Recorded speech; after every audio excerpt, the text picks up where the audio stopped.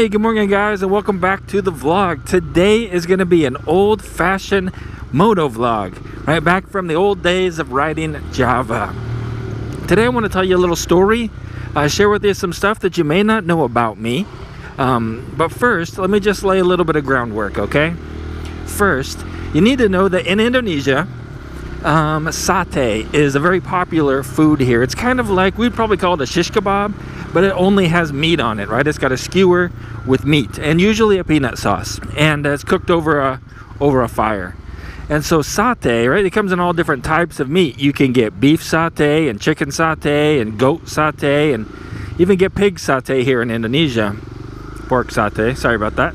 But um, one of the things that they have here, it's kind of a specialty, depends on the area. But here in Yogyakarta, if you go up to Kaliurang, you can get rabbit satay.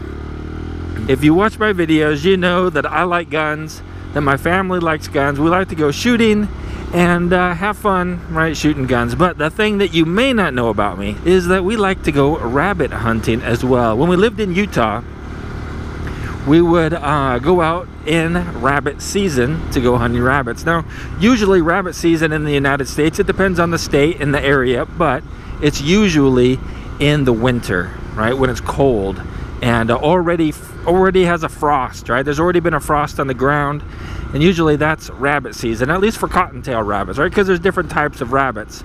You have jackrabbits, and in Utah, where we were, jackrabbits were open season all year long. You could shoot jackrabbits all day long, as many as you want, because they were considered a pest, right? And so, but nobody really eats jackrabbits, at least in uh, anybody that I know. But cottontails, that's a different story. Those are the cute little fuzzy bunnies. Those guys are good eating. And so we would go out early in the morning, usually, sometimes in the evening, but usually early in the morning as it's just getting light. It's when the rabbits come out because they live in holes in the ground normally or underneath like big rocks. And so they'd come out and they'd be sitting out there. Maybe they're they're eating a little snack, waiting for the sun to come up and warm them up and then uh, we'd walk really slow we'd walk really quietly through the uh, through the desert there in Utah look up on the hill and you just see them sitting there maybe like 50 meters 100 meters away and that's your time so we shoot them and uh, after I shot the rabbit then the uh, the kids would run up there and they would grab him and uh, they were like the retrievers for the rabbits, right? And so they'd run up there and get them. And I think at that time the law was you could get four rabbits per day. And uh, that was a good amount of rabbits for to eat because these rabbits are pretty small. They're just wild little cottontails.